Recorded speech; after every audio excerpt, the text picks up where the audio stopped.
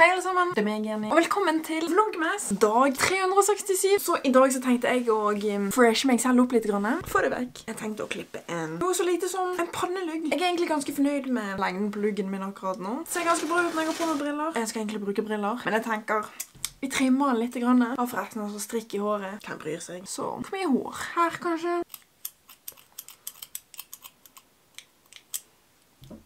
Ja, ser liksom helt greit ut.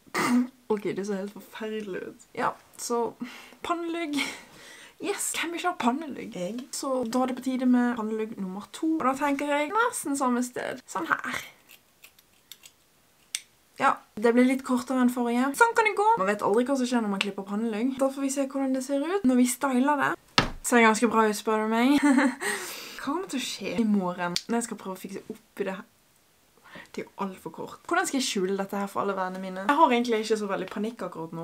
Går jeg ikke i barnehagen? Det er jo alt for kort. Snart nyttår, og jeg håper på nytt hår. Da er det på tide å si farvel med gamle seg selv. Hva er det jeg holder på med? Hm, ny pannelig. Æsj.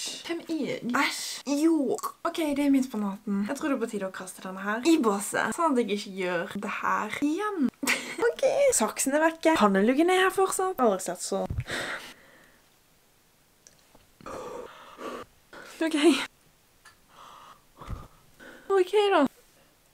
Må dere gjøre dette igjen?